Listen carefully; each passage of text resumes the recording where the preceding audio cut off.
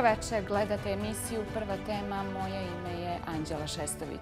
Koaliciju Crno na bijelo koja će se predstaviti na izborima 30. avgusta čine građanski pokret URA, Stranka pravde i pomirenja, grupe građana Civis i nezavisni intelektualci. Nosioci liste su dr. Srđan Pavićević i predsjednik građanskog pokreta URA Dritan Abazović, koji je večeras i moj gost. Gospodine Abazoviću, dobro večer. Dio liste e, koju predstavljate čine i nezavisni intelektualci. Zašto? Pa zato što smo htjeli da ponudimo konačno jedan novi model i da Crna Gora koja se nalazi u vrlo složenom i političkom i socijalnom i ekonomskom pa i zdravstvenom momentu zaslužuje da se otvori za sve građane koji mogu da daju doprinos njenoj transformaciji u jednom pozitivnom smjeru.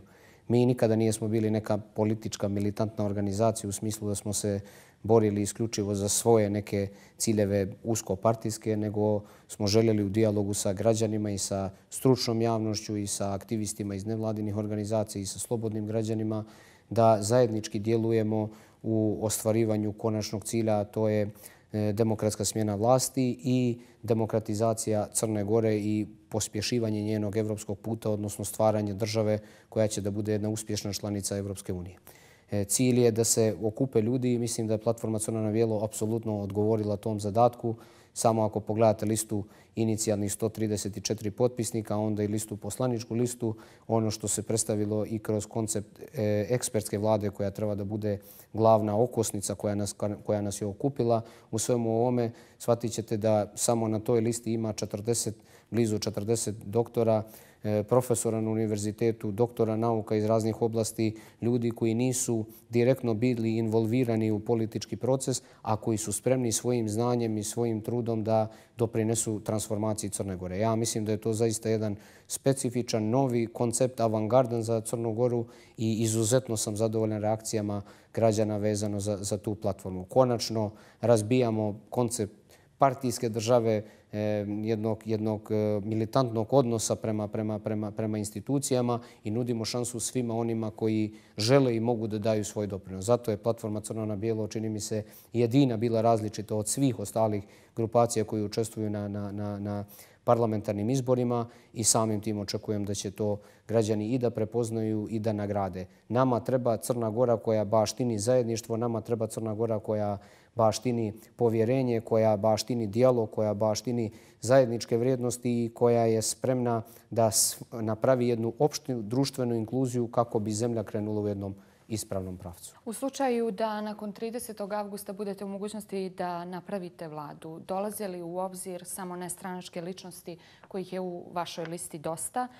Dolaze li u obzir e, koalicije? E, rekli ste da nam ne treba SNS umjesto DPS-a. Znači li to da ne dolazi u obzir saradnja sa desnim blokom? Dakle, mi smo bili vrlo jasno u ovoj kampanji i po tome smo isto bili originalni i specifični. Ja mislim da je spasonosno za Crnu Goru nakon 30. augusta vodi ekspertska vlada. Mislim da je to interes i opoziciju u Crnoj Gori i mislim da je to interes svih dobronamernih ljudi koji su sticajem okolnosti glasaju trenutno vladajuće, vladajuće partije. Dakle, da se političari izmaknu i da ljudima koje bi delegirali kroz kroz Skupštinu Crne Gore koje bi delegirali u vladi damo šansu da u periodu od dvije ili četiri godine, dakle u pola ili u cijelom mandatu, urade nekoliko strateških stvari kako bi Crna Gora prvi put nakon toga imala slobodne izbore i kako bi ljudi naredni put glasali u jednoj mnogo relaksiranijoj atmosferi nego što je to sada slučaj. Ako to uparimo sa ekonomskom krizom koja je nastala zbog korone i zbog 30-godišnje pogrešnog modela razvoja koje je Crna Gora, Crna Gora koristila. E, mislim da je jako važno da ljudi koji mogu u ovim trenucima da, da povuku određene poteze koje bi, bili, koji bi možda bili i složeni u, jednu, u, u jednom dijelu vezano za, za, za, za ekonomski sistem, ipak mogli da, da, da daju rezultate koji su neophodni da bi se zemlja oporavila. I naš koncept je vrlo jasan. Naš koncept je vrlo jasan. Međutim, ja želim da naglasim da je URA uvijek bila opozicijona stranka i da je platforma Crno na bijelo se okupila oko promjena. Dakle, ja mislim da, da, da, da nema nikakve dileme da ogroman broj građana Crne Gore, dakle ne prosta većina, nego, nego, nego dvotrećinska većina želi da vidi promjenu u ovoj zemlji. Ljudi nijesu sigurni kako ta promjena treba da izgleda i kako, kako bi bilo najbolje da se, to, da, se, da se to izvede. Ali ljudi su zainteresovani za promjene. Svaki kontinuitet znači propast. Crna Gora ne može da ima budućnost ako bude nastavilo u ovom pravcu u kojem je vodi sadašnja, sadašnja vladajuća garnitura. Tako da je naša ponuda i fair i poštena, nije, nije e, egoistična, nije sebična. Naprotiv, želimo da onima koji su najbolji damo šansu. Ako su to ljudi koji, koji su podržali platformu Crna na bijelo, neka to budu ti ljudi. Ako bilo koja grupacija, stranka ili, ili nestranačka lica se javi sa boljim predlozima, Apsolutno neka budu ti, ali mi tu moramo stvoriti jedan, jedan, jedan društveni konsenzus. Kada, kada pitate konkretno e, ko bi mogao da, da, da to čini, ja bih, i, ja bih ostavio to za, za, za posle izbora. Mi smo stranka koja ima komunikaciju sa svima, to je po meni stvar političke kulture i političke pristojnosti.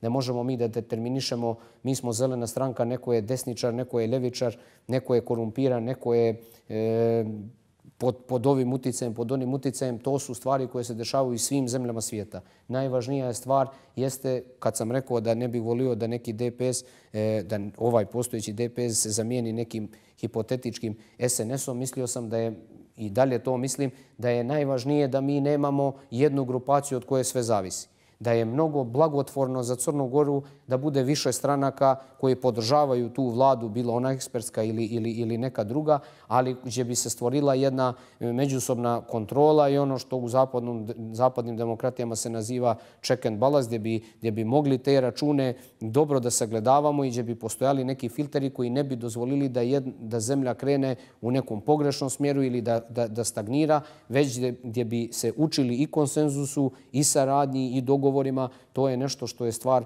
e, političke kulture. I želim samo da kažem na kraju što, što mi je mnogo, mnogo važno. Mi smo jedina zemlja u Evropi koja nikad nije promenila vlast, nikad u svojoj istoriji. Ne zadnjih 30 godina, nego nikad u svojoj istoriji. I promjena, prosta promjena vlasti na izborima za Crnu Goru je istorijski datum. To je ista istorijska činjenica kao i obnova državnosti Crne Gore.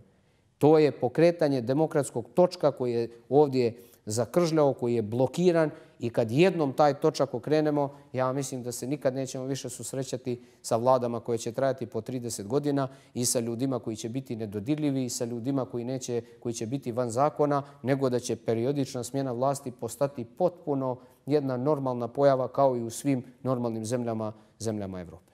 Šta je cilj vaše ekonomske politike? Cilj naše ekonomske politike je, to je najvažniji naš cilj. Mi imamo pet ciljeva, ali, ali targetirao bih ekonomsku politiku kao glavnu, s obzirom da je to najviše opterećuje opterećuje građane jeste da potpuno zaokrenemo ekonomski, ekonomski model. I kad god građani postave pitanje pa šta vi, e, da li vi stalno kritikujete, nudite nešto konkretno, ja mislim da nudimo vrlo konkretno. Crna Gora na korupciji godišnje gubi između 150 i 200 miliona eura. Ne mislim da bi mogli sve to odmah da suzbijemo, ali bi značajna sredstva mogli da obezbijedimo i kroz to. Donošenjem zakona o, o porijeklu imovine i donošenjem zakona o lustraciji imali bi situaciju da sistemski promijenimo, promijenimo, promijenimo E, koncept vladavine prava što bi omogućio i bolju mogućnost za daljne, daljne investicije. S obzirom da je korona i da mi treba da imamo posebni senzibilitet prema socijalnoj politici u narednom, narednom periodu, mi predlažemo konkretne mjere kada, kada, kada je riječ o tome. Povećanje zaposlenosti raditi preko toga što će e, građani Crne Gore, odnosno država Crna Gora, obezbijediti otkup svih poljoprivrednih proizvoda u narednih 12 godina. Na taj način ćemo ljude da zaposlimo, da ih vratimo na selo i na jedan način oni će biti sigurni da će moći i kroz sabine centre da prodaju sve što se proizvede. To nas neće koštati mnogo, koštaće nas manje nego što dajemo subvencije za električnu energiju bjelosvjetskim tajkunima, a omogućit ćemo ljudima da rade. Treba da promijenimo porezku politiku, smanjenje poreze i doprinosa kako bi se suzbijala siva, siva ekonomija, da imamo drugu, drugu metodologiju vezano za javne radove, javne radove i koncesije, mjera otvaranja E, električnog, e, elektronskog otvaranja e, trezora koja je po meni zaista dobra i spektakularna gdje svaki građanin u svakom trenutku može online da pristupi državnom i lokalnom budžetu i da vidi sve uplate, sve bi te stvari išle u kontroli. Da da skratim, da ne bi bilo, ima puno mjera koje, koje, koje, koje, koje je razradio naš ekonomski tim i mislim da smo tu stvarno napravili određenu razliku u odnosu na druge stranke koje pričaju nekakve, nekakve neostvarive bajke. Glavna stvar je razumjeti da Crna Gora je zemlja koja može da ima značajno veći životni standard ukoliko bi imala veću distribuciju pravde. Ako distribucija pravde ostane na ovom nivou, mi ne možemo da iskoračimo. I nemoguće je da nas neko ubijedi da 600.000 stanovnika sa ovakvim prirodnim biserima ne može da ostvari neki značajniji, značajniji, značajniji rezultat. Isto tako, mhm, evo, završit ću neke, neke infrastrukturne projekte koji nisu prioritetni, koji nisu prioritetni, treba odložiti za neki, za, neki, za neki drugi period, a da se taj dio investira u zadržavanje i očuvanje male i srednje privrede od koje Crna Gora će sigurno živjeti u nekom narednom periodu. E, za vrijeme vaše kampanje može se također čuti da želite da pomirite i dvije polarizovane strane, a sa druge strane stižu e, e, negdje najave da oni to ne žele. Ima li mjesta trećoj Crnoj Gori? I također ustoji još jedno pitanje, kako bi riješili pitanje zakona o slobodi vjeroispovijesti? Treća Crna Gora je najveća Crna Gora. Treća Crna Gora je jedina Crna Gora. I treća Crna Gora je građanska Crna Gora i ta Crna Gora je prava Crna Gora. I ne samo da, da, da, da, da je to e, nemoguća misija, to je i tekako moguća misija. Naše e, svađe su najčešće, u naj, najveći broj slučajeva vještačke. One su izazvane samo zato što dva pola e, žele da igraju tu igru na štetu građana Crne Gore. Mi mislimo da apsolutno ogroman dio Mm, pa čak i birača i simpatizera jedne ili druge grupacije navija za pomirenu Crnogoru. Svako navija za pomirenu Crnogoru. Svaki građanin Crne Gore želi da ima dobre odnose sa svojim komšijama, sa svojim prijateljima. Niko ne želi da bude, da bude sam i da bude u svađi, da kad izađe na ulicu nema kome da kaže dobar dan. Ta, to, je, to je ogromna manjina. To je, to je jedna manipulacija koja najviše dolazi od strane vlasti koja usled nedostatka priča o ovim životnim temama žele uvijek da nametnu neki, neki, neki drugi diskurs. Jeste, Ure i Mala Iranije i Crno na Bijelu ima tu misiju i Mala Iranije i ja lično sam imao tu, tu misiju. Ne mislim da je ona Bogom dana i ne mislim da je, da je, da je, neko, da je neko veliko, veliko otkriće, ali jeste da rušimo tabue i da pokažemo da Crna Gora može drugačije. I ja sam ubijeđen da, da, da može drugačije i siguran sam da će krenuti drugačije. Kad je riječ o zakonu o slobodu vjeru, vjeroispovestu što se tiče platforme Crno na bijelo, mislim da više od dva sata neće biti potrebno da imamo zakon koji će biti prihvatljiv za sve.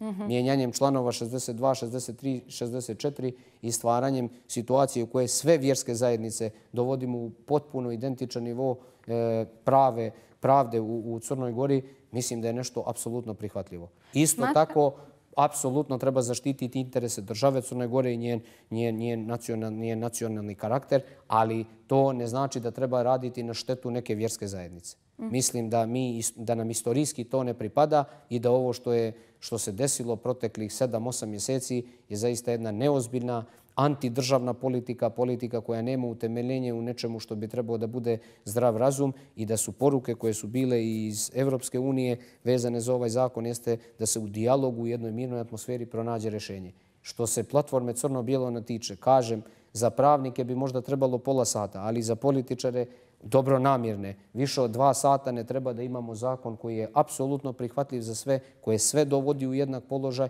a koji apsolutno štiti sve ono što je interes države Crne Gore. S obzirom na to da polako probijamo termin, e, posljednje pitanje. E, da li e, razmišljate o tome koliko će građana baš vama povjeriti e, da ih zastupate u Skupštini? nakon što su to učinili u prethodnom četvorogodišnjem periodu, a vi ste potom odlučili da ne ulazite u Skupštinu i tako se, na taj način se glas vaših birača nije čuo tamo gdje su vas birali i za šta su vas plaćali. Nikad se glas naših birača više nije čuo nego u prethodne četiri godine. Potpuno je neistina da, da, da zbog bojkota državnog parlamenta je bilo ko bi uskraćen za naš glas. Pa mi smo pokrenuli više afera nego državno tužilaštvo. Mi smo već imali lokalni izbor na koje smo imali mnogo bolje rezultate nego ranije. Mi smo svaki dan sa ljudima, posao poslanika nije da sjedi u skupštinu i da kao robot glasa za nešto što mu, što mu partija naredi. Posao poslanika je da brani javni interes na svakom mjestu. I ne bih, e, možda zvuči malo pretencijozno, ali ne bih se pomakao i ne bi se pomjerio, a bio bi spreman ili u vašoj emisiji ili bilo gdje sa bilo kojim poslanikom Skupštine Crne Gore da pričamo o tome koliko je ko imao aktivnosti u prethodnom periodu. Ja mislim da građani treba da cijene i mislim da cijene iskrenost i principijelnost, a ne manipulacije i sitne političke kalkulacije. Što se mene tiče, data riječ je nešto što se ne može prekršiti. Ukoliko nije bilo uslov, ukoliko smo svi otišli u bojko tada, neka se zapitaju za one koji su prekršili taj dogovor. Ja ga nijesam prekršio. Ja sam ostao i sada ostajem i dalje uz interes građana u potpunosti i potpunosti miran vezano za, za podršku koja treba da dođe ili ne dođe 30. Avgusta, avgusta. Ono što je najvažnije da građani shvate jeste da, i, da e, njih treba da zastupaju časni ljudi, njih treba da zastupaju pošteni ljudi i njih treba da zastupaju znaveni ljudi koji imaju energiju da se bore. To je najveći interes građana. Ukoliko budemo trebali da ih zastupamo u Skupštinu, radit ćemo to sa velikim žarom i sa velikom borbenošću. Ali ukoliko budemo trebali da ih zastupamo i na ulici i da se za Ustav Crne Gore borimo na bilo kojem mjestu, Drita Nabazović i svi iz platforme Crno na Bijelo su više nego spremni. I mislim da je to nešto što sa čime vlast e, kalkuliše i zna da je to tako, pa pokušava ovim nekim sitnim E, podmetanjima da, da, da, da, da stvori, da stvori neku, ne, neku drugu sliku. Ja mislim da građani izuzetno cijene ono što smo mi radili u prethodnom periodu. Mislim da dio međunarodnih partnera izuzetno cijeni ono što smo radili u, u prethodnom periodu i mislim da e, generalno oni koji su dobronamerni i koji nijesu pod nekom emotivnom ili drugom vrstom korupcije zaista, zaista neće imati dilemu da daju podršku građanskoj opozicionoj opciji. Gospodine Abazoviću, hvala vam na razgovor. Hvala i vama, bilo mi je zadovoljstvo. Poštovani gledaoci, vama hvala što ste bili uz nas. Prijetno večer. Thank you.